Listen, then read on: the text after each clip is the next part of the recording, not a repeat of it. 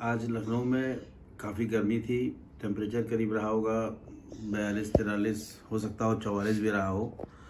और cherry tomatoes ऊपर मैंने आपको दिखाया हुआ था कि मैंने ग्रो बैग में लगाया हुआ है। कई सारी वेराइटीज़ थी कलर भी कई सारे थे शेप भी कई सारे थे। तो इसकी प्लकिंग काफ़ी दिनों से लगातार होती चली आ रही है, लेकिन चूँकि टेम्परेचर काफ़ी हाई है और आगे आने वाले टाइम का प्रडिक्शन है कि ये टेम्परेचर अभी कंसिस्टेंटली चौवालीस पैंतालीस तक जाएगा। तो ये डिसाइड हुआ कि अब धीरे धीरे करके टेरी चेरी टोमेटोज़ को हम लोगों को प्लग करना चाहिए। वजह क्या है प्लग करने की? अगर प्लग नहीं करेंगे तो इसका जो मॉइस्चर कंटेंट है, वो कम हो जाएगा और इसकी जो आउटर स्किन होती है, वो काफ़ी सॉफ्ट होती है। तो ये ये सॉफ्टन हो जाएगा और एक बार अगर टमाटर हल्का सा सॉफ्ट हो जाता है, अगर फर्मनेस नहीं है तो टमाटर अच्छा नहीं होता। आइए आपको बताते हैं कि जो आज टमाटर मैंने प्लग किया है, एक वैरायटी ये देखिए, ये टमाटर ऐसे सब, ये बंचेस में टमाटर ऐसे लगे हुए हैं ऊपर। ये पूरा का पूरा बंच मैंने काट लिया था। तो इसमें आप देखें, कुछ टमाटर छोटे हैं, कुछ बड़े हैं, कुछ पूरे तरीके से तैयार हैं।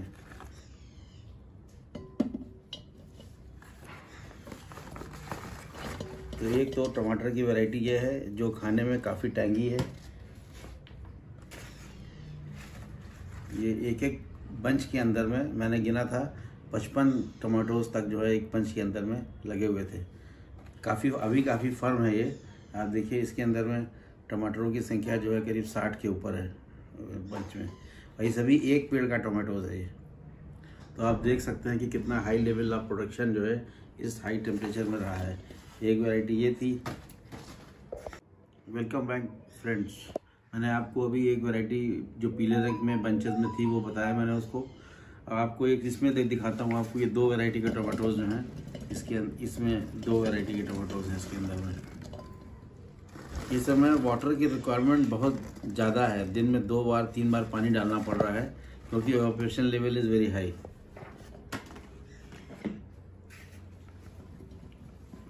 इसमें भी सभी वैरायटी इंडियन वैरायटी हैं। और ये जो आप रेड वाली देख रहे हैं रेड वाली का फर्मनेस काफ़ी ज़्यादा है। इसके ऊपर टेम्परेचर का ज़्यादा इफ़ेक्ट नहीं पड़ा है। आपको मैं दिखाता हूँ। ये बिल्कुल सख्त है टमाटर, ये जो आप देख रहे हैं। ये बिल्कुल सख्त है टमाटर। और इसमें स्वीट कंटेंट काफ़ी ज़्यादा है। ये it is towards sweet content एक वैरायटी ये हुई, जो दूसरी वैरायटी है ये वाली प्लम शेप में। इसकी वाटर रिक्वायरमेंट काफ़ी कम है। इसको अगर आप पानी ना भी दें, दिन में एक बार दें तो ये चलता है। मैंने पीछे अपने सारे वीडियोस में जो मैंने चिली टोमेटोज पे बताए थे उस पर मैंने लिंक भी लिंक भी दिया हुआ था डिस्क्रिप्शन भी दिया था। आप उसको देखें। और ये टोटल आज की आज की एज अगर हम आज देखें तो करीब साढ़े चार महीना हो चले हैं जब टमाटर लगा था। और ये करीब साठ दिन के बाद से ये स्टार्टेड इसने अपना जो है वो फल देना चालू कर दिया था। तो मैं आपको ये बताना चाह रहा था कि इसकी कॉमर्शियल वैल्यू भी बहुत ज़्यादा है। अगर आप खेती भी करना चाहते हैं, छत पे छोटे लेवल में और अपनी सोसाइटी में रहते हैं और अगर चाहते हैं कि टोमेटोज़ करें तो आप डिफरेंट साइजेस के ग्रो बैग्स आते हैं जो मैंने पीछे लिंक में और डिस्क्रिप्शन में दिया हुआ है। आप ग्रो बैग्स में लगाएँ टमाटर को ग्रो करें और पूरे सीज़न भर इस टोमेटोज़ को खा सकते हैं।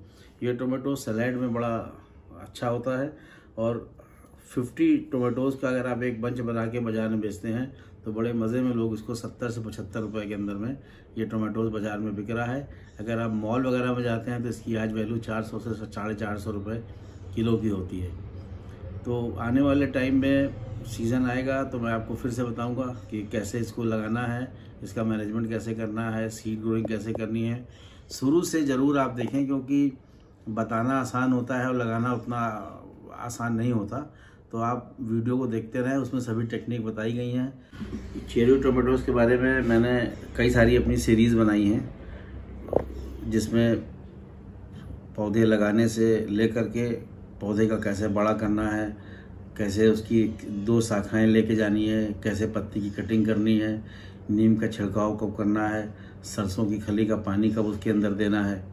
तो ये सब आप करेंगे तो आप ये देखेंगे कि चेरी टोमेटोज़ को उगाना बहुत ही आसान है कंपेयर टू इनडिटर्मेंट टोमेटोज तो इससे फ़ायदा क्या होता है? आपको सैलेड के लिए बाहर नहीं जाना पड़ता, जाना जाना पड़ता। बच्चे टोमेटोज बड़े आसानी से इसको खा सकते हैं। इसके अलावा चेरी टोमेटोज का मैनेजमेंट बहुत इजी है। एक पेड़ के अंदर में आप समझ लीजिए कि आठ से दस किलो चेरी टोमेटोज।